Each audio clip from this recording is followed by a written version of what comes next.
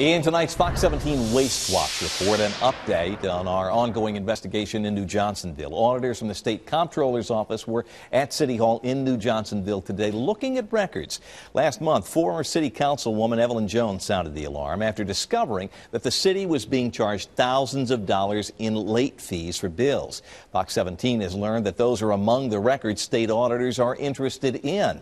Last week, Mayor Lance Lovelace denied allegations that he misled the city council Council about personally requesting a state audit after learning of these billing irregularities. You can find all of our Waste Watch stories at our website, fox17.com. Just go to Hot Topics and then click on Waste Watch. That same section, you can also submit your ideas for local Waste Watch investigations.